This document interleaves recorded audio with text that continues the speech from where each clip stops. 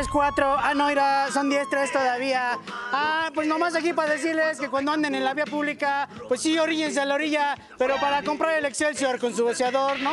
Y es que a mí mi mejor arma es estar bien informado. Yo se lo recomiendo para que no se queden sin novedad en el frente, ¿no? Como quien dice. Uy, y ahora eh, los voy a tener que pasar a remitir con el guardián de la noticia, el subcomandante Villanueva, que siempre mantiene el orden informativo. Adelante, pareja Villanueva. 10-4. No, no, no, no, no, ¿Cómo no, estás? pero qué gusto verte. Pepe, Efraín, ¿cómo estás? qué gusto. Pochito. Oye, este, el, el señor policía más bien parecías de repartidor de panquecitos, ¿no? Un poco equivocado, señor policía. Sí, sí, sí, qué Con barbaridad. su hombre. clásico oríllese a la orilla. Orilla, salud, Chado Rojo, Ya Chado quedó en el Rojo. pasado. ¿Te mandan el Shadow? Lo digo porque Qué ya no gusto verte. Un placer estar con ¿Qué ustedes. nos traes de noticias? Estamos aquí para actualizar la información. Tenemos una entrevista que nos dio en exclusiva Omar García Harfus. Ahí nada más. Ahí nada más. Ahí nomás. Hace dos años llegó a la Secretaría de Seguridad Ciudadana. Este trabajo que está realizando Omar García Harfus no es nada fácil. Estar al frente de la policía en la Ciudad de México realmente representa un gran compromiso, al grado de poner en riesgo su vida. Imagínate, Hubo un atentado, ¿recuerdan el tema del atentado sobre la avenida Paseo de la Reforma? Sí, claro. Cuando viene de las lomas de Chapultepec hacia el centro histórico. ¿Qué tiene, como dos años? Yo creo que menos. Yo El creo que atentado menos. tiene menos, tiene menos, Sí. menos de este. Fue exactamente, si no me equivoco, en junio, julio. Ah, Este atentado, hace ya un poquito más de un año. No les platico más, vamos a leer esta entrevista que nos dio Omar García Harfus y lo comentamos. Vamos a ver.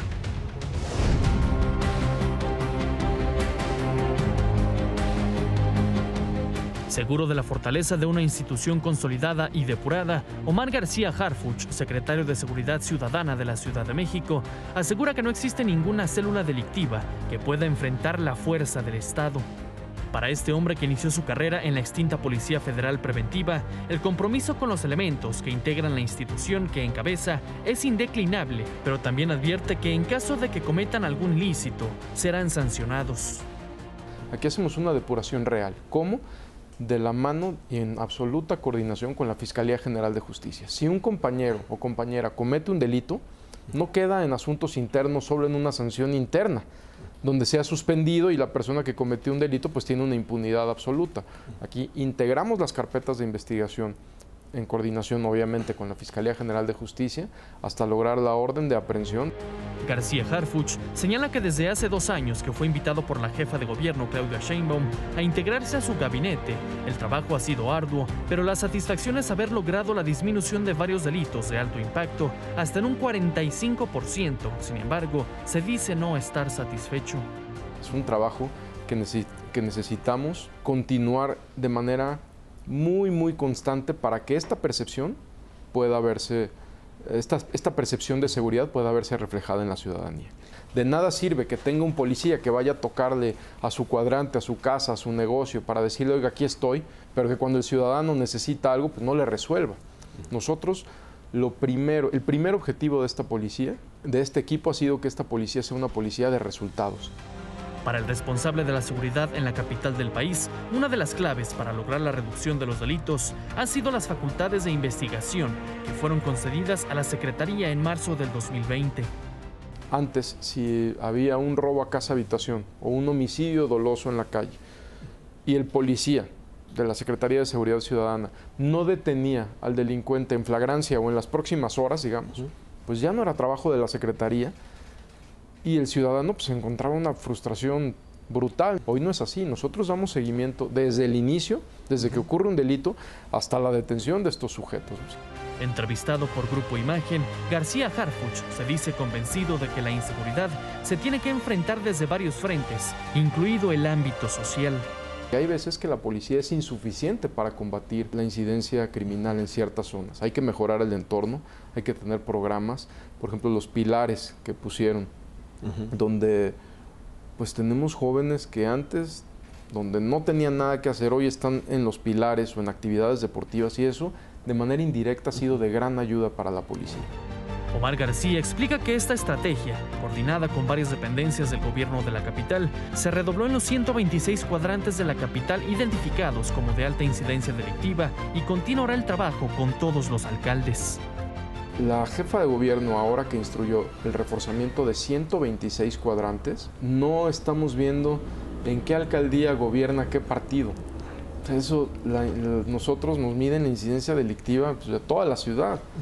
Eso también queremos que tenga mucha seguridad la ciudadanía. Nosotros no importa territorio, eh, la Secretaría está para cuidar al parejo todas las alcaldías. Sabedor del riesgo que implica estar al mando de la policía capitalina, recuerda conmovido el atentado que sufrió en junio del 2020. La pérdida de mis compañeros es lo más difícil. Este, los dos les tenía un, un aprecio muy grande, entonces son cosas muy duras, pero también hay que ver la realidad de en dónde estábamos trabajando, en dónde continuamos trabajando y los riesgos que pueden pasar. Finalmente, Omar García Harfuch se deslindó de las versiones que lo han querido involucrar en la desaparición de los 43 normalistas de Ayotzinapa y aseguró que en el momento de los hechos, él se encontraba con todo un equipo de trabajo de más de 300 personas en el estado de Michoacán.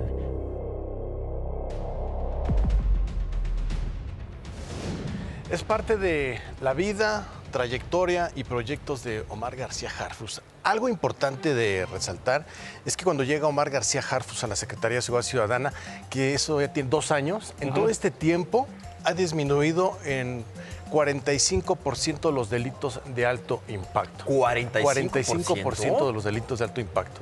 Y esto se logra percibir porque platicamos con algunas personas, con algunas personas en las calles y nos dicen que ahora se sienten mucho más seguros. ¿Tú cómo ves, Pepe? Yo, me gusta escuchar esto porque sí te siento, yo la verdad me siento inseguro en la ciudad, lo tengo que decir, y muchísima gente, pero da gusto oír reportajes como estos. Y yo he oído de operativos en algunas alcaldías, siete, ocho alcaldías que están con operativos especiales. ¿De qué se trata eso? Es el reforzamiento de 126 cuadrantes en las siete alcaldías consideradas con mayor incidencia delictiva aquí en la Ciudad de México. Y lo dice Omar García Harfus, estoy contento pero no satisfecho. Aún hay mucho por hacer en la Secretaría de Seguridad Ciudadana. El objetivo es cambiarle el rostro a la ciudad, ir de la mano con los nuevos alcaldes, 16, los 16 alcaldes de la Ciudad de México, algunos de un partido, otros de otro color. Para la Secretaría de Seguridad Ciudadana no hay distinción de colores y él está dispuesto a trabajar de la mano con el único objetivo de regresarle la seguridad a los capitalinos. Que, la merecemos, o sea, es nuestro derecho. Es nuestro derecho. Es, nuestro derecho. O sea, tiene que ser, no es... Eh, eh, no es que nos estén ayudando con eso, tenemos que estar seguros. Ahora, ¿cuáles son los eh, delitos de alto impacto que, te refieres? Homicidio culposo, homicidio, este, robo de vehículo, es otro que ha disminuido. Ok y este bueno, asalto con violencia. Y, no tendría que ver, no estoy desacreditando para nada, ¿eh? pero no tendría que ver, te pregunto nada más, eh, con el hecho de la pandemia, de que nos eh, guardamos mucho en casa. No, ok. Hay algo bien importante. Con el hecho de la pandemia también se registraron la pérdida de empleos. Las necesidades continúan en las familias y esto generó muchas veces los asaltos en las calles por la necesidad de las personas que no se justifica. Entonces no, podríamos decir que con la pandemia nos guardamos, bajaron las, los delitos. No, okay. también se incrementaron. ¿Sabes que Creo que hay algo bien importante que decir, es que eh, felicitemos a la policía porque hay muchísimos elementos muy buenos de la policía y tristemente hay una mala imagen, pero que la, la causan solo unos de ellos, pero felicidades a la gran mayoría del cuerpo policial que se la juegan por todos nosotros hay que decir la neta también. Muy bien, muy bien. Felicidades a los policías. Tenemos algo gracias, más, gracias Omar García Harfus por darnos esta entrevista. Te vamos a dar un giro a la información. vamos a presentar parte de la historia de nuestros atletas mexicanos. Todo esto con el objetivo de reconocer su labor. Vamos a ver.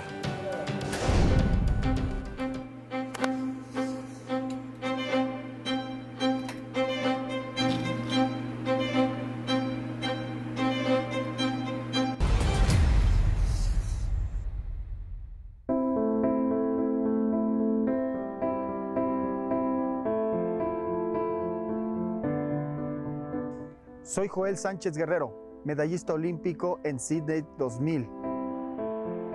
Cuando mi hermano inició esta, esta aventura, nosotros no éramos parte, pero él abrió el camino para, para esto y entonces, eh, pues sí es un recuerdo este, muy grato en esa parte. Yo se lo pregunté a mi padre, se lo pregunté a mi madre, ¿cómo le hacían?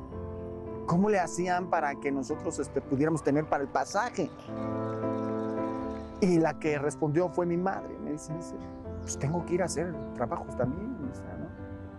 Dices tú, pues el esfuerzo que yo, no me daba cuenta de lo que ella hacía. no, no importaba si comíamos o teníamos para comer, no, no, nunca, nunca, lo, nunca lo vimos así. Tuve una, una larga experiencia por Juegos Olímpicos de 1988, por ejemplo, en 1992. El problema fue que el entrenamiento no fue no fue el- el- el idóneo. Ese fue el que el descalabro, y más el descalabro cuando la gente dejó de creer en ti. Fueron ocho años, y ocho años que quiero comentarte, este, fueron difíciles, difíciles porque había que nuevamente recomenzar. Tengo de 7 de la mañana a 8 de la noche, de lunes a domingo, 365 días del año, hasta llegar a Juegos Olímpicos en Sydney. Nada, no hubo nada, no hubo nada. No hubo ni festejar el cumpleaños de mi madre, no hubo...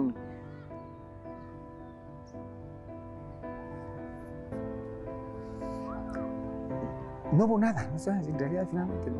Era concentrarse, ¿no? Concentrarse totalmente, ¿no? En realidad finalmente seis kilómetros que fueron las últimas dos o tres vueltas que me faltaban para entrar al estadio y fueron las que más, más disfruté. Sí, fue el momento, fue, fue de, eh, lo, lo he logrado, lo he conquistado, lo he hecho. Felicidades para los nosotros. atletas, Bueno, bueno, respeto. porque ¿Sabes qué? De repente en México, sobre todo en este tipo de, de deportes, quitando el fútbol o el box, somos mucho de, de- de reconocerlos y de hacerles caso a los Sí. atletas en el momento. ¿Y O sea, luego? en los Olímpicos, luego poquito después de terminar y luego los olvidamos. Entonces, qué maravilla que Y no para. esta memoria. olvidados, abandonados. Sí. Y ese es el objetivo precisamente de esta Qué nota, bueno, eh, la verdad. reconocer su labor, Sí, reconocer para. todo lo que han hecho. Oye, pues nosotros seguimos. Mil gracias. Mil gracias. Un favor, ya es viernes, no se olviden de vivir. No se olviden de vivir. A ¿De vivir qué? todos los días. Ya es viernes, no se olviden de vivir. Yo pensé que de beber. No, Ah, también. espérate, no, no, esto, sí, esto sí es importante. sí. Espérenme, pero importante es que traigo la alerta a México y solicitamos su apoyo, por favor, para localizar a Aurora Barrios Alcobe, de 63 años de edad, quien fue vista por última vez el 29 de septiembre de este año en Jalapa, Veracruz. Si ya la viste, la has visto, tienes información que nos pueda ayudar, por favor, comunícate al 2283 19 31 87. Manos a la obra, ayudemos a encontrar a la gente desaparecida y seguimos con los pajaritos en el alambre. Vámonos. Muchas gracias, ¿eh? Placer. Bajarraco.